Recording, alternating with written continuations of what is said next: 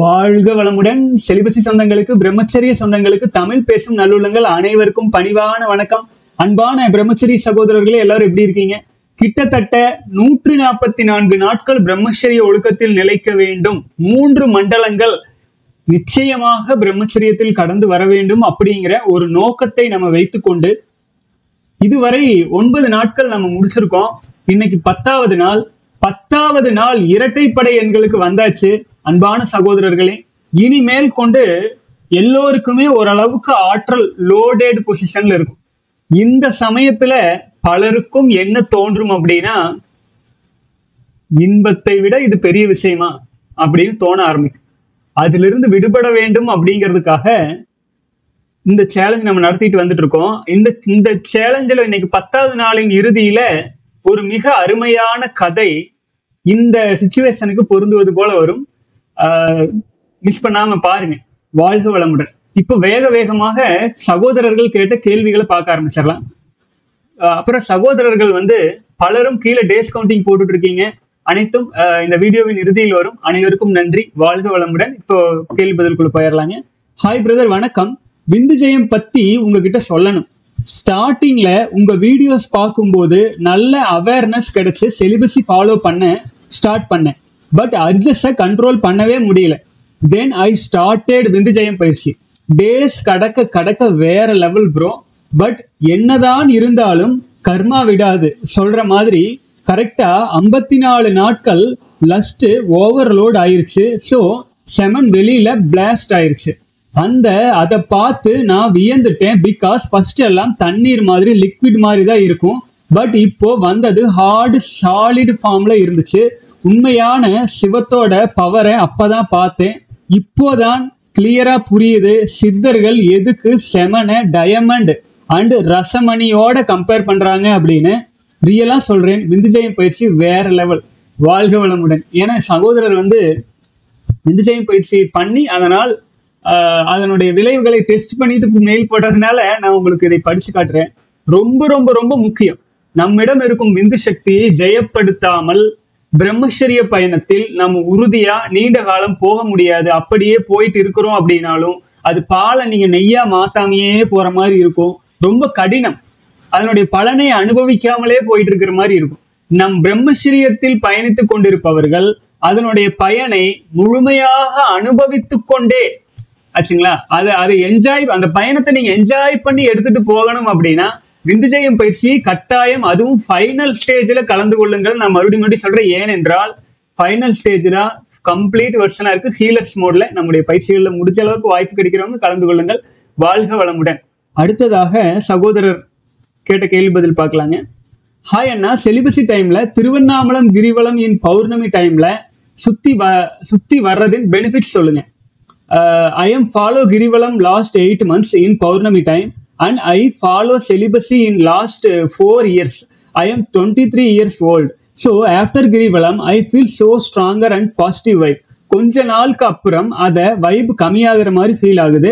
And again go to Girivalam to gain some energy இது ரெகுலராக எனக்கு நடந்துட்டு இருக்கு. உங்கள் ஒப்பீனியன் ஷேர் பண்ணுங்க. வாழ்க வளமுடன். அன்பான சகோதரரே நம்ம வந்து என்னதான் பிரம்மச்சரியம் ஃபாலோ பண்ணாலும் தவம் பண்ணாலும் நம்ம வாழ்க்கை முழுக்க முழுக்க வெளி உலகத்தை நோக்கி இருக்கு. இன்னும் முழுசா உள்ளுக்குள்ளேயே போல. அப்படி இருக்கும்போது வெளி உலகத்துல ஆயிரக்கணக்கான தவறான பிரயோஜனமே இல்லாத வாழ்க்கைக்கு சுத்தமா உதவாத விஷயங்கள் எவ்வளவோ செய்யறோம். செய்யறோம்ல சினிமா போறோங்கிறோம் அங்க ஓரோ கடை வீதி ஓரோம் எங்க எங்கேயோ சுத்துறோம் பார்க்கு போறோம் உறவினர்கள் நிகழ்ச்சிகள் அது இது பிஸி பள்ளிக்கூடம் காலேஜ் எல்லாமே போற போற போற ஆற்றல் வரை இப்படி போயிட்டு இருக்கிற சமயத்துல இது போல ஆன்மீகமான விஷயங்களுக்குள்ள நீங்க போகும்போது என்ன பண்ணுவீங்க? கிரிவலம் சுத்தி வரையில என்ன பண்ணுவீங்க?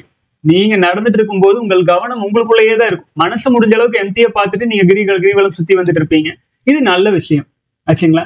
நெகட்டிவ் இருக்கு பாசிட்டிவ் இருக்கு. நீங்க நெகட்டிவான விஷயம் தான் இந்த உலகமே இயங்கிட்டு இருக்கு. இது போல ஒரு சில பாசிட்டிவான விஷயங்கள்ல நீங்கள் கலந்து கொள்ளுவதை நான் குறைன்னு சொல்ல மாட்டேன். ஒருவேளை நீங்க வந்து இப்போ என்னை மாதிரி ஒரு கோயில்ல ஒரு நீங்க ஒரு கோயில் இருக்கும் இடத்துல உங்ககிட்டயே கடவுள் இருக்காரு உங்களை சுத்தியே எல்லாமே இருக்கு நீங்க எங்கேயுமே போறதில்ல நீங்க உண்டு உங்க வேலை உண்டு உங்க தவம் உண்டுன்னு இருக்கீங்கன்னா உங்களுக்கெல்லாம் இந்த கிரிவலம் எல்லாம் தேவையில்லை. கிரினா என்ன? கிரினா மலை. கிரி வலம் வர்றதுன்னா துரியத்திலேயே தவம் பண்ணிட்டு இருக்கிறவங்களுக்கு கிரிவலம் தேவையில்லை. ஆச்சுங்களா? அதே மாதிரியே அண்ணாமலை. ஆச்சுங்களா? அண்ணா நாக்கின் மேல் அன்னத்தை உள்ள வச்சீங்கன்னா அண்ணான்னு சொல்லுவாங்க. நாக்க உள்ள மடக்கி மேல் அன்னத்துல வைக்கிறது அண்ணாவில். அண்ணா அப்படிம்பாங்க. அது மலை அப்படின்னா நம்முடைய மேலை துவாரங்கள்ல ஆக்னி துரிய மனோன்மணிய தவந்தா. ஆச்சுங்களா? நம்ம மேல் நிலையில் உள்ள தவம் பண்ண ஆரம்பிச்சுட்டு அது ஒரு ஸ்டேஜ் போக போக நமக்குள்ளேயே நாம் வாய்ப்பு கிடைக்கும் போதெல்லாம் விந்துஜயம் பயிற்சி பண்றோம். ஆக்னி துரிய மனோன்மணி தவம் பண்றோம். இப்படியே இருக்கும்போது நமக்கு இதைய உடைச்சிட்டு கிரிவலம் எல்லாம் சுத்தணுங்கிறது இல்லை நீங்க ஒரு சாதாரண வேலையில இருக்கீங்க ஸ்கூல் போறீங்க காலேஜ் போறீங்க அது இது பண்ணிட்டீங்க அதை உடைச்சிட்டு ஒரு கிரிவலம் போனா நல்லதானே? நல்லதுதான் இதே நீங்க ஒரு தவத்தில் இருக்கீங்க இதெல்லாம் ஃபாலோ பண்ணிட்டு இருக்கீங்க உங்க லைஃப்பில் உங்களுக்குள்ள செலிப்ரேட் பயங்கரமா இருக்கீங்கன்னா இதை உடைச்சிட்டு கிரிவலம் போகணுங்கிறதெல்லாம் பெரிய விஷயம் இல்லை. ஏனென்றால் உங்களுடைய ஈசன் உங்களுக்குள்ளேயே அங்க சேகரமாகி சிறப்பா போயிட்டு இருக்கிறனால வாழ்க வளமுடன். அதான் சித்தர்கள் எல்லாம் சொல்லுவாங்க ஆஹ் பள்ளமும் மேடும் கடந்து திரிவரே கள்ள மனமுடை கல்வியிலோரேம்பாங்க. ஆச்சுங்களா ஏன் அப்படின்னா தனக்கு எல்லா வாய்ப்புகளும் இருந்து பிரம்மசரியத்திலும் நிலைச்சு தவமும் செஞ்சுட்டு இருக்கும்போது வெளி உலகத்துக்கு சுத்த வேண்டிய தேவையே இல்லை. நமக்குள்ளேயே ஈசனே இருக்கிறதுனால. ஒருவேளை நீங்க வெளி உலக வேலைகள்ல ஆட்பட்டு பயங்கரமா ஆற்றல் விரயம் அது இதுன்னு போயிட்டு இருக்கும்போது கிரிவலம் எல்லாம் போயிட்டு வர்றது நல்ல விஷயம் தான் மனசுக்கு ஒரு மாற்றம் ஒரு பிரத்யாகாரம் கிடைக்கும். சரிங்களா? வாழ்க வளமுடன். அடுத்தது ஐயா வாழ்க வளமுடன். வணக்கம் ஐயா. பிரம்மச்சரிய பயணத்தில் தொண்ணூத்தி ஏழு நாளில் உள்ளேன். எசென்டியல் ப்ராடக்ட்ஸ் வேண்டும். எப்படி வாங்குவது என்று சொல்லுங்கள். மற்றும் வாதம் பித்தம் கபம் இவை சமநிலையை சமநிலையில் வைத்திருப்பது எப்படி என்று சொல்லுங்கள். வாழ்க வளமுடன். அன்பான சகோதரரே இந்த எசென்டியல் ப்ராடக்ட்ஸ் வந்து அன்னைக்கு கோவில் கட்டுமானத்திற்காக நமக்கு கொஞ்சம் நிதி தேவைப்பட்டது அப்படிங்கிறதுனால நம்ம வந்து அதை அது பண்ணி எல்லாருக்கும் கொடுத்து நம்ம சொல்லியிருப்போம். அப்பவே சொல்லியிருப்போம். இப்போ வந்து அதையெல்லாம் நம்ம பண்றது இல்லைங்க அதனால நீங்க பக்கத்துல இருக்கிற ஏதேனும் ஒரு நாட்டு மருந்து கடையில உங்களுக்கு என்ன தேவையோ நீங்க வாங்கிக்கோங்க. ஏன்னா நமக்கு அந்த ப்ரொஃபஷன் நம்மளுக்கு அது கிடையாது. மருந்து தயாரிக்கிறது விற்கிறது மணி அதெல்லாம் பெரிய ஆர்வம் இல்லை. அதற்கான மனிதர்கள் நல்ல மனதுடையவர்கள் நிறைய நாட்டு மருந்து கடைகள் இருக்கும். பக்கத்துல பார்த்துக்கோங்க. எதிர்காலத்துல ஒருவேளை நமக்கு பசங்க எல்லாம் நிறைய வர்றாங்க. இந்த மாதிரி ஏதாச்சும் ரெடி பண்றோம் நம்முடைய சகோதரர்கள் கொடுக்கணும்னா நம்ம அறிவிக்கிறோம் அப்புறம் பார்த்துக்கலாம். வாழ்க வளமுடன். வாத பித்த கபம் இவை சமநிலையில் வைத்திருப்பது எப்படி அப்படின்னு நான் ஏற்கனவே பலமுறை வீடியோ சொல்லியிருக்கேன். ஒரு அரை மணி நேர உடற்பயிற்சி விந்துஜயம் பயிற்சி இந்த இரண்டையும் கலந்து செய்ய வேண்டும். காலையில ஒரு முறை வெறு வயிற்றுல மதியம் ஒரு முறை உணவுக்கு முன்னாடி வெறு வயிற்றுல இரவு உறங்குறதுக்கு முன்னாடி மூன்று முறை விந்துஜயம் பயிற்சி பொசிஷன்ஸோடு செஞ்சுட்டு ஒரு கால் மணி நேரம் முதல் அரை மணி நேரம் வரை பேசிக்கான உடற்பயிற்சி உடலை கவனித்து உடற்பயிற்சி செஞ்சீங்கன்னா வாட வாத பித்த கபம் எல்லாம் அப்படியே நார்மலைஸ் ஆயிரும். எந்த மருந்து எதுவுமே தேவையில்லை. சரிங்களா? முயற்சி பண்ணி பாருங்க. வயதா வயது ஆயிட்டு இருக்கிறவங்களா இருந்தா கொஞ்சம் கடுக்காய் பொடி இரவு உறங்குறதுக்கு முன்னாடி ஒரு அரை ஸ்பூன் சாப்பிடுங்க. போது இவ்வளவுதான் மருத்துவமே. சரிங்களா? நாளாக நாளாக சரி இறைவனை நம்பி ஒப்படைச்சிடணும் உங்களை அர்ப்பணிச்சிடணும் அவன் அவன் பார்த்துக்குவான்னு விட்டுறணும். தானா சரியாக ஆரம்பிச்சிடும் சளியெல்லாம் பிடிச்சா நல்லது. உள்ளுக்கிற கழிவெல்லாம் வெளியில் போறதுதான் ஒரு தடவை போயிடுச்சுன்னா அப்புறம் ரெடி ஆயிடும் ஆனா நம்ம போகாமையே தடுத்துட்டு இருந்தாதான் அது எச்செச்சா பெருசா வேற வேற நோய்களா மாறிடும் ஸோ நம்ம வந்து மருத்துவத்துல அவ்வளவு பெரிய எக்ஸ்பர்ட் இல்லை. பேசிக்கா ஒரு வருமுன் காப்போம் அப்படிங்கிறத நம்ம பார்த்துட்டு இருக்கோம். நோ மருத்துவம் மருத்துவம்னா என்னன்னா வந் நோய் வந்ததுக்கு அப்புறம் அதுக்கு மருந்து கொடுத்து சரி பண்ணிட்டு இருக்கிறது அந்த மாதிரி வேலை. நம்ம வந்து நோய் வர்றதுக்கு முன்னாடியே கா பாதுகாத்துக்கிறதுக்கு என்ன பண்றது? வர்றதுக்கு முன்னாடி ஒரு ப்ராப்ளம் கிரியேட் ஆகிறதுக்கு முன்னாடியே நம்மளை எப்படி சேஃப் பண்றதுங்கிறதுக்கு அதுக்கு தான் பிரம்மச்சரியம் அதுக்கு தான் விந்துஜயம் பயிற்சி அதுக்கு தான் உடல் பயிற்சிகள் அதுக்கு தான் தியான தவமுறைகள் இதெல்லாம் வர்றதுக்கு முன்னாடியே நம்மளை சேஃப் பண்றதுக்காக. ஆகவே வருமுன் காப்போங்கிற விகிதத்துல நீங்க ஒருவேளை வாத பித்த கபம் இம்பேலன்ஸ் நீங்க ஃபீல் பண்ணீங்கன்னா இந்த மூன்று முறை அரை மணி நேரம் அரை மணி நேரம் அரை மணி நேரம் ஒதுக்கி ஆஹ், விந்துஜயம் பயிற்சியோடு உடற்பயிற்சி விந்துஜயம் பயிற்சியோடு உடற்பயிற்சி விந்துஜயம் பயிற்சியோடு உடற்பயிற்சி நீங்க ஃபாலோ பண்ணும்போது இவை நார்மலைஸ் ஆகும். அதுக்கப்புறமேலு அதுக்கப்புறமேல் வந்து காலையும் மாலையும் இல்லை இல்ல ஒரு தடவை எப்படி உங்களுக்கு சௌரியமோ உங்கள் வாழ்க்கை சூழ்நிலை வேலை சூழ்நிலை அது தகுந்தாற் போல நீங்க மாற்றி அமைச்சுக்கலாம். உடலே சொல்லும் உங்களை நீங்க கவனிக்க ஆரம்பிங்க. வாழ்க வளமுடன். ஆஹ் ஆனா ஸ்பீக் அபவுட் மாடர்ன் லவ் அப்படின்னு கேட்டிருக்காரு. மாடர்ன் இந்த காலகட்டத்தில் இருக்கிறதுக்கு பேர் காதல்னு ஏதாவது இருக்கா? இந்த காலத்துல உண்மையிலேயே காதல்னா என்ன? காதல்னா என்ன அப்படின்னு திருமூலர் அந்த காலத்திலேயே சொல்லிட்டு இருக்காரு. மாதரை மாயவரும் கூற்றம் என்றுன்ன காதலாகிய காமம் அழிந்திடும். காதல் அப்படிங்கிறதே காமம் தான். காதல் அப்படிங்கிறதே காமத்தின் வெளிப்பாடு தான் ஒரு குழந்தைக்கு காதல் இல்லை அன்பு தான் இருக்கும். நமக்கு ஒரு அன்பு வேற காதல் வேற. காதல் அப்படிங்கிறது இன்பத்து பின்னாடி ஓடிட்டு இருக்கிற இந்த காலகட்டத்துல அது பெரிய விஷயமா பார்த்துட்டு இருக்காங்க ஒருத்தருக்கு ஒருத்தர் ஒத்தும் உதவியும் இருக்கிற ஆண் பெண் இணைந்து இருக்கும்போது அது ரொம்ப ஒரு மீறி ஒரு லெவல் மீறும் போது பாத்தீங்கன்னா ஆற்றல் விரைதல் சிக்க வச்சிரும். அது நம்ம உயிரையே இழக்கிற மாதிரி ஆயிரும். பல்வேறு குளறுபடிகள் வரும். அது இந்த காலத்துல காதல்ங்கிறது எல்லாமே டைம் பாஸா மாறிட்டு இருக்கு சரிங்களா? ஆண்களுக்கு யாரையும் நம்பி போகாதீங்க. உங்களோட சுயத்துல இருங்க. அவ்வளவுதான். உங்க சுயத்துல மட்டுமே இருங்க. யாரையும் எந்த எல்லாரும் அவங்களுக்கு தேவை வரும்போது நீங்கள் தேடப்படுவீர்கள். ஆச்சுங்களா? தேவை இல்லாத சமயத்துல நீங்கள் தூக்கி எறியப்படுவீர்கள். அப்போ யாராச்சும் ஏதோ ஒரு விதத்துல தேவை வருது அப்படின்னா உங்களுடைய ஆற்றல் ஆற்றலோ பணமோ பொருளாதாரமோ இல்ல வேற விஷயங்களோ உறிஞ்சுவதற்கான வாய்ப்பு தான் ஆகவே உஷாராக இருந்து கொள்ளுங்கள். அவ்வளவுதான். சரிங்களா? வாழ்க வளமுடன். இது இது பற்றி நாமளே சொல்ல வேண்டியதில்லை. தினத்தந்தி பேப்பரு இந்த காலத்துல போயிட்டு இருக்கிற விஷயங்கள் எல்லாம் நீங்க பார்க்கணும்னா ஒரு நியூஸ் பேப்பர் எடுத்து பார்த்தீங்கன்னா கள்ளக்காதல் அது இது எல்லாமே வந்து குட்டிச்சவர் பண்ணி வச்சிருக்கிறாங்க. அது நம்ம வேற பேசுறதுக்கு என்ன இருக்கு? சொல்லுங்க. ஒரு நல்ல சமுதாயமா போயிட்டு இருந்த காலகட்டத்துல இது ஆச்சரியமா இருந்தது. இப்போ வந்து இது வந்து நார்மலைஸ் ஆயிப்போச்சு. தவறான விஷயங்கள் நார்மலைஸ் ஆயிடுச்சு. ஒரு தொலைக்காட்சிகள்ல ஒரு பெண் நாலஞ்சு பாய் ஃப்ரெண்ட்ஸ் பெஸ்டி ஆண்களோடு பேசுவது பழகுவது எல்லாமே நல்ல விஷயம்னு காட்ட ஆரம்பிச்சதுக்கு அப்புறம் அது அதெல்லாமே வந்து நம்ம பேசி பயன் இல்லாம ஆயிடுச்சு இல்லைங்களா? அப்ப அந்த அதுல உண்மை இல்லாத விஷயங்கள் மேல நம்ம பற்று வைக்கணும்ட்டு என்ன இருக்கு? சொல்லுங்க பார்க்கலாம். வாழ்க வளமுடன் அன்பான சகோதரர்களே. அதெல்லாம் ஒரு ட்ராப் யானை போய் தன்னுடைய தந்தத்தை போய் இழந்து உயிரையும் இழக்கிற மாதிரி ஒரு ட்ராப்பா மாறிடுச்சு. அரசாங்கங்களும் பாத்தீங்க அப்படின்னா சட்டத்திட்டங்கள் மூலமாக பல்வேறு விதங்கள்ல ஆண்கள் சிக்குனா உள்ள லாக் வச்சு செஞ்சுட்டு இருவாங்க அந்த மாதிரி தான் போயிட்டு இருக்கு. திருமணம் முடிந்த பிறகு எதுவாக இருந்தாலும் எல்லா விதங்களிலும் ஆண்களுக்கு சப்போர்ட் இல்லாத சட்டதிட்டங்கள் தான் இந்த காலகட்டங்கள் இருக்கு. அதனால நீங்க எதா இருந்தாலும் உஷாரா இருங்க. இன்பத்து பின்னாடி போய் சிக்கிக்காதீங்க. உஷாராக இருங்கள். பொறுமையாக யோசிச்சு செயல்படுங்க. வாழ்க வளமுடன். அன்பான சகோதரர்களே ஆஹ் இன்னைக்கு கிட்டத்தட்ட கேள்வி பதில் முடிஞ்சிருச்சு. கிட்டத்தட்ட இரண்டு மூன்று நாட்களா பார்த்ததுனால இம்பார்ட்டன்டான கேள்வி பதிலுக்கு நான் அப்படியே ரிப்ளை பண்ணிட்டேன். சரி இன்னைக்கு கதைக்குள்ள போயிடலாம். கதை ரொம்ப ரொம்ப முக்கியமான கதை. இந்த ஒரு கதை நீங்க கேட்டுட்டீங்கன்னா உங்களுக்கு இந்த ஆசைப்படுவது கொஞ்சம் குறையும் ரொம்பவே குறையும். சரி நம்முடைய மனித இனம் தோன்றிய காலத்துல பக்தி மார்க்கத்துல வர்ற கதை தான் இது. சிவபெருமானும் பார்வதியும் திருமணம் செய்யறாங்க. திருமணம் செஞ்ச பிறகு சிவபெருமானுக்கு மூன்று குழந்தைகள் பிறக்குது. விநாயகர் முருகர் அசோக சுந்தரி அப்படின்னு. அசோக சுந்தரி அப்படிங்கிற தன்னுடைய பெண்ணை வந்து பார்வதி சிவ சிவபெருமான் வந்து நகுசன் அப்படிங்கிற பையனுக்கு திருமணம் செஞ்சு கொடுக்குறாங்க. ஆச்சுங்களா?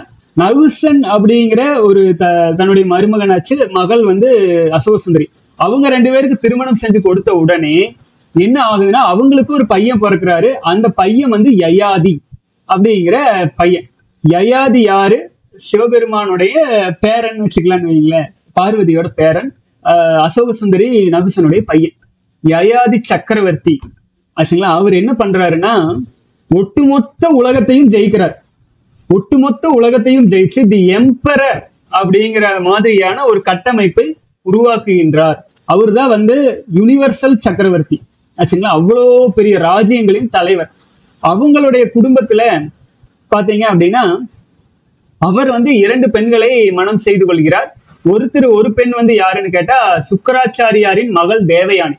சுக்கராச்சாரியார் யாரு? அசுரர்களின் யாரு? அசுரர்களின் குரு. அசுரர்களின் குருவனுடைய பெண்ணான தேவயானியை கல்யாணம் பண்ணிக்கிறாரு.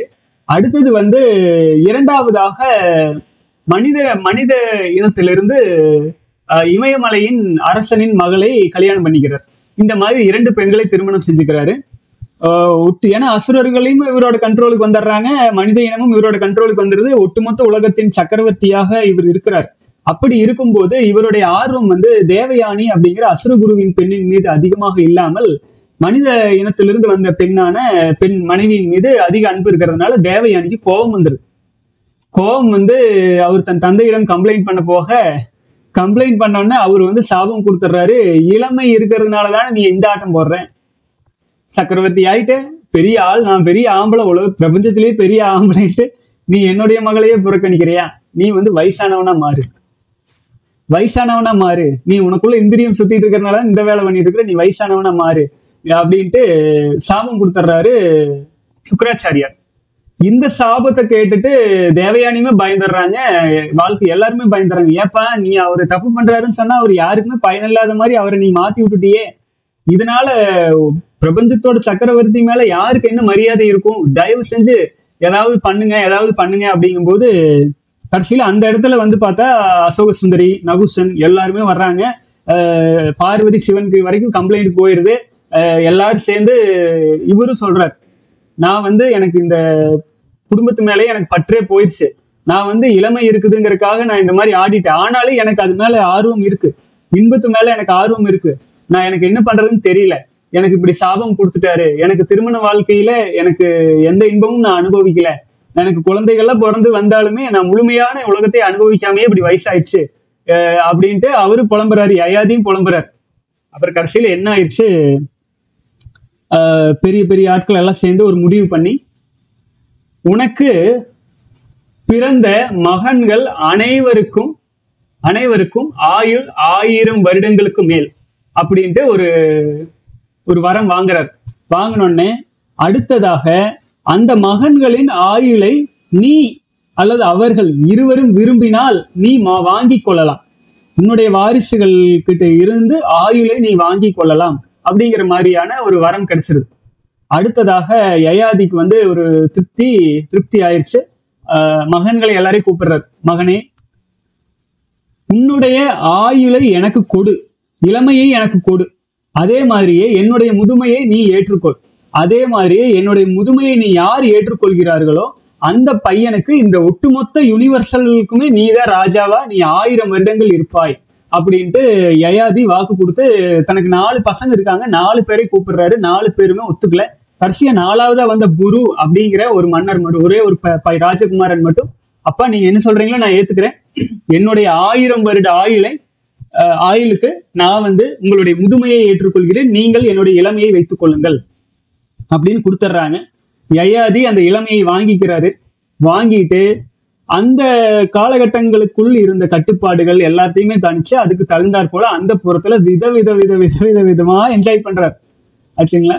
இந்த ஊர் உலகத்துல அந்த காலத்துல எல்லாம் வந்து போர் அது இதுன்ட்டு பல்வேறு விதங்கள்ல வந்து பெண்களின் எண்ணிக்கை ரொம்ப அதிகம். ஆண்கள் வந்து பிரம்மச்சரியோ ஒழுக்க நெறி அப்படின்ட்டு பலரும் வந்து வெ- வெவ்வேறு விதங்கள்ல மாறி போயிடுவாங்க. அதனால திருமணத்துக்கு அபரிமிதமான பெண்கள் கிடைப்பாங்க. அந்த மாதிரி அவர் வாழ்க்கை. அவரு வந்து சக்கரவர்த்தியா வேற இருந்தவர். அசுரகுலமும் அவருக்கு கட்டுப்படு மனித இனமும் கட்டுப்படு வித வித வித வித விதமான இன்பத்துக்குள்ள போயிடுறாரு. குடும்பம் எனக்கு வேண்டாம் நான் இன்பத்தை அனுபவிக்க போறேன் அப்படின்ட்டு அந்த ஆயிரம் வருட இன்பத்தை அனுபவிக்கிறதுக்கு போயிட்டு இருக்காரு அனுபவிச்சு இருக்காரு வருடங்கள் போயிட்டே இருக்கு. அனுபவிச்சுட்டே இருக்காரு. இந்த வருஷம் செமையா என்ஜாய் பண்ணணும் இதை என்ஜாய் பண்ணணும் அதை என்ஜாய் பண்ணணும் மாறி மாறி மாறி மாறி ஆற்றல் என்ஜாய் பண்ணிட்டே இருக்கிறாரு. ஒரு முந்நூறு நானூறு வருடங்கள் என்ஜாய் பண்றாரு. என்ஜாய் பண்ணிட்டு கடைசி பையன் குரு வந்து சக்கரவர்த்தி அவரு தானே பையன் தான் ஆட்சி கொடுத்துட்டாரு. பையனை பாக்குறதுக்கு போறார்.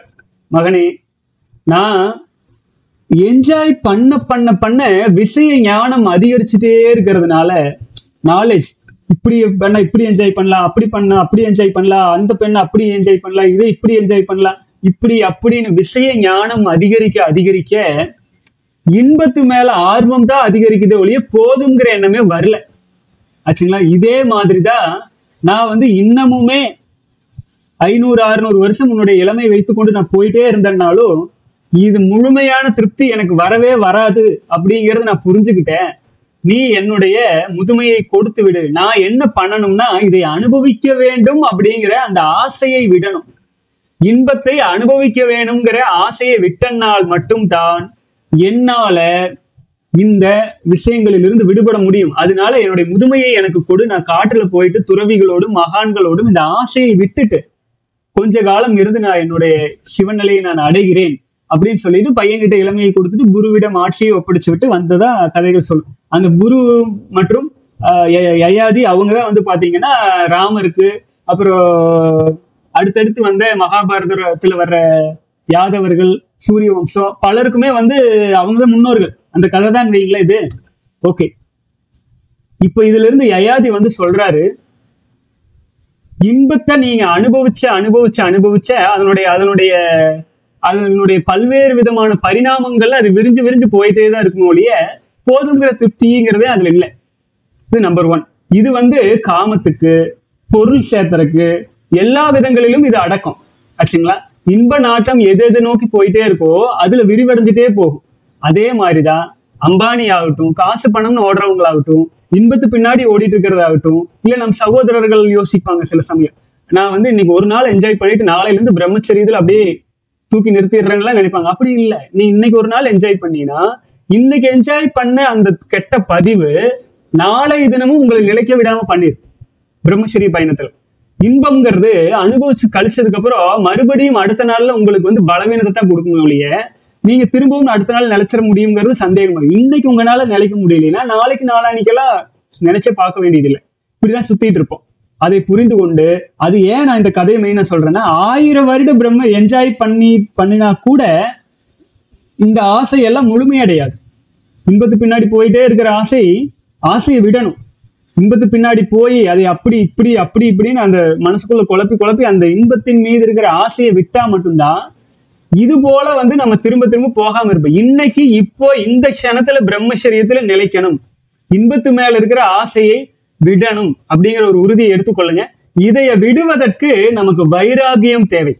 ஆச்சுங்களா? உண்மையான முழுமையான வைராகியம் தேவை. அந்த வைராக்கியத்தை உருவாக்குவதற்காக நாளையிலிருந்து நான் வந்து பத்ரகிரியாரின் பாடல்களில் இருக்கிற முக்கியமான விஷயங்கள் நம் சிவானந்தர் சொன்ன பல விஷயங்கள் திருமூலர் சொன்ன விஷயங்கள் பல சித்தர்கள் சொன்ன பல பல பல பல விஷயங்களை நான் வந்து உங்களுக்காக கொண்டு வந்து கொண்டு வந்து டெய்லி டெய்லி நான் வீடியோஸ் கொடுக்க போறேன். சகோதரர்கள் சிலர் வந்து பாத்தீங்கன்னா நான் வீடியோஸ் சின்னதா போடுங்கிறாங்க சிலர் பெருசா போடுங்கிறாங்க ஸோ நான் அது என்னோட கையில வைக்கல. நீங்க எவ்வளவு கேள்விகள் கேட்டிருக்கீங்க அப்படிங்கறத பொறுத்து தான் எடுத்துட்டு போறேன். நம்ம உங்களுடைய கேள்விகளை தாண்டி ஒரு பத்து பதினைந்து நிமிடங்கள் வந்து நான் வந்து இது போன்ற ஒரு வைராக்கியம் அளிக்கும் விஷயங்களை நாளை முதல் நம்ம பார்க்க போறோம். ஒரே ஒரு விஷயத்தை புரிஞ்சுக்கோங்க. இன்பம் இன்னைக்கு அனுபவிச்சோம்னா இன்னைக்கு அனுபவிக்கிற விஷயம் நாளைக்கும் நம்மளை குடிகுடியில தான் தள்ளமை தள்ளுமே ஒழிய ஆயிரம் வருடம் அனுபவிச்சாலும் அது நம்மை வந்து சிக்கல்ல தான் சிக்க வைக்குமோ ஒழிய அது அது முழுமை கிடையாது. ஆகவே இப்போவே முடிவு பண்ணணும். போதும் இந்த கருமம். போதும் போதும் போதும் முடிவு பண்ணி மனதளவுல ஒரு உறுதி எடுத்துக்கொண்டு அது வேண்டாம். அது நம்மை சிக்கலில் மாட்டி விட்டுரும் அப்படிங்கிற ஒரு தெளிவான புரிதலுக்கு வாங்க. பிரம்மச்சரிய பயணத்துல நூத்தி நாற்பத்தி நான்கு நாட்கள் மூன்று மண்டலங்கள் நாம் ஒரு குழுவாக நம்ம ஒரு சின்ன கம்யூனிட்டி தான். ஆனா கொஞ்சம் கொஞ்சமா முன்னேறுவோம். சரிங்களா? Roman empire not built in one day நான் உங்க கூட பேசிட்டு இருக்கேன். நீங்க ஒவ்வொருத்தரும் ஒவ்வொரு துறையில் இருப்பீங்க. ஒவ்வொரு இடங்கள்ல இருப்பீங்க. ஒவ்வொரு நாடுகள்ல இருப்பீங்க. பல்வேறு இடங்களில் இருந்து இந்த வீடியோஸ் நீங்க பார்த்துட்டு இருப்பீங்க. நீங்க உங்கள் இடத்தில் உங்கள் வாழ்க்கையில் நீங்கள் பிரம்மச்சரிய ஒழுக்கத்தில் நிலைச்சு நீங்கள் அந்த இடத்தில் வலிமையடைய வலிமையடைய வலிமையடைய வலிமையடைய நம்ம சமுதாயமே வலிமையடைய ஆரம்பிக்கும். ஆச்சுங்களா? பிரம்மச்சரியத்தில் நிலைப்பவர்களால் மட்டும்தான் இந்த உலகத்திற்கு மனித இனத்திற்கு சரியான பாதையை காட்ட முடியும். இல்லை என்றால் இன்பத்து பின்னால போய் போய் போய் விட்டல் பூச்சி சூரியனை நோக்கி போயிட்டே இருந்து மரணம் அடைந்து கீழே விழற மாதிரி இன்பத்து பின்னாடி ஓடிட்டு இருக்கிற இந்த உலகம் அதன் பின்னாடியே போய் மனித இனமே அழிந்தழிந்துதான் விழுமே ஒழிய அங்க எந்த ஒரு முழுமையும் இல்லை. ஆச்சுங்களா? எந்த பிரம்மச்சரியத்தில் நிலைக்காத யோக பயிற்சிகளும் செல்ல பிரயோஜனமே இல்லை. அது விஸ்வாமித்திரர் பற்றிய கதை ஒண்ணு இருக்கு. கொஞ்சம் நேரம் இருக்கிறதுனால விஸ்வாமித்திரர் கதையையும் நான் கொஞ்சம் உங்களுக்கு சொல்லிடுறேன்.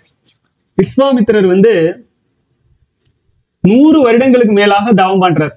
இந்திரன் வந்து முடிவு பண்றாரு இவன் இப்படியே தவம் மாட்டிக்கிட்டே இருந்தா நமக்கு வந்து பலம் குறைஞ்சு போயிடும் அதாவது இந்திரன் நினைக்கிறாரு இவர் மிகப்பெரிய பலசாலி ஆயிட்டா இந்திரனுக்கு எப்பவுமே வந்து ஒரு எண்ணம் என்னன்னா தன்னால வந்து எப்பவுமே யாராச்சும் தன்னுடைய பதவி பிடிச்சிருவாங்களோன்னு ஒரு பயத்திலேயே இருப்பார் இந்திரன். அப்போ விஸ்வாமித்திரர் யாரு? ஏற்கனவே கௌசிகனாக ஒரு நாட்டின் மன்னரா இருந்தவர்.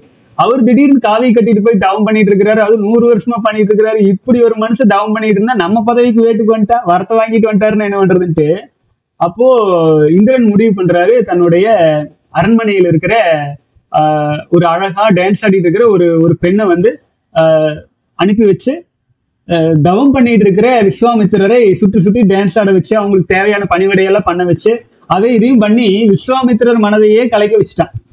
கலைச்சோன்னு விஸ்வாமித்திரர் அந்த பெண்ணோட அன்பு ரொம்ப உண்மையாட்டு இருக்குது. ரொம்ப உண்மையா தான் அந்த பொண்ணு லவ் பண்ணிட்டு இருக்கிறா அப்படின்னு எல்லாம் நம்பி அந்த பெண்ணோடு இணைந்து ஒரு குழந்தையும் பிறந்துருது. அப்போ அந்த பெண்ணோடு இணைந்து இணைந்தாதானே ஒரு குழந்தை பிறக்கும். அந்த குழந்தை பிறந்திருக்கு அப்படிங்கிறதுக்காக ஆஹ், இந்திரன் வந்து அந்த வழியில் வர வந்து தன்னுடைய நாட்டோட சாரி தன்னுடைய டான்ஸ் ஆடிட்டு இருக்கிற பொண்ணு தான் அது. அந்த பெண்ணை வந்து உன்னுடைய கடமை முடிஞ்சிருச்சு வா சொர்க்கத்துக்கு போகலான்னு கூப்பிடறதுக்கு வந்துட்டார். இந்திரன் வந்துட்டார். அப்போ விஸ்வாமித்திரர் இதை பாக்குறாரு யாரு நீங்க என்னடா நீங்க நீ இங்க சுத்திட்டு இருக்கிற இந்திரா? அப்படின்ட்டு கேட்ட உடனே ஐயா விஸ்வாமித்திரரே ஏமாந்தீர்களா? உங்களுடைய நூறு வருட தவத்தையும் நீங்கள் ஆற்றல் வரையும் செய்து இழந்து விட்டீர்கள். அப்படின்னு சொன்னோடனே இந்திரா நீ பண்ணது தப்பு. நீ எனக்கு துரோகம் பண்ணிட்ட. இப்படி சாபத்தை அப்படின்னோடனே இந்திரன் வந்து பார்த்து சிரிப்பான். நீ வந்து எப்போ உன்னுடைய ஆற்றலை விரயம் பண்ணினியோ எப்போ உன்னுடைய குழந்தைக்காக நீ உன்னுடைய ஆற்றலை செலவு பண்ணிட்டியோ அப்போவே நீ வந்து ஒன்றுத்துக்கும் பயனற்ற உடலாக மாறி சடமாக மாறிவிட்டாய் உன்னுடைய சாபமெல்லாம் என்னை பழிக்காதப்பா. நான் வந்து என்னுடைய ஆளை கூட்டிட்டு போறேன் அப்படின்னு சொல்லிட்டு அந்த அவரோட அவர் அனுப்பி வச்ச ஆளை கூட்டிட்டு கிளம்பிடுறாரு. அப்போ விஸ்வாமித்திரர் பயங்கரமா கோபம் வந்து மறுபடியும் போய் மறுபடியும் தவம் பண்ணி மறுபடியும் வரம் வாங்கி அது கதையா வரும். ஆச்சுங்களா? நூறு வருடங்களா தவம் பண்ணா கூட ஆற்றல் விரயம் இறை பண்ணிட்டோம்னா அதற்கு எந்த பலனும் இல்லாமல் போயிருங்கிறத ஆழமா புரிஞ்சுக்கோம். நம்ம ரொம்ப குறைஞ்ச நாட்கள் இருக்கும். எல்லாருமே குட்டி குட்டி விஸ்வாமித்திரர்களா சுத்திட்டு இருக்கிறோம். எப்போது நாம் மிக்க மிக்க வலிமையான மனிதர்களா மாறுவோம் அப்படிங்கிறது ஈசன் பாதத்துல நம்மை அர்ப்பணிச்சாதான் நடக்கும். அதை எல்லோரும் செய்ய வேண்டும் அப்படிங்கிறது என்னுடைய விருப்பம். ஈசன் எனக்குள்ள இருந்து சில விஷயங்களை உங்களுக்கு சொல்ல வைக்கிறாரு. உங்களுக்குள்ள இருக்கும் எல்லாம் உள்ள ஈசன் அதை அப்சர்வ் பண்ணிக்கொண்டு கொண்டு தன்னை மேம்படுத்தி கொள்ள ஆரம்பிச்சா ரொம்ப ரொம்ப சந்தோஷம் மகிழ்ச்சி. வாழ்க வளமுடன். மீண்டும் நாளைய தினம் சந்திக்கலாம். பதினொன்றாவது நாள் வீடியோல வாழ்க வளமுடன்.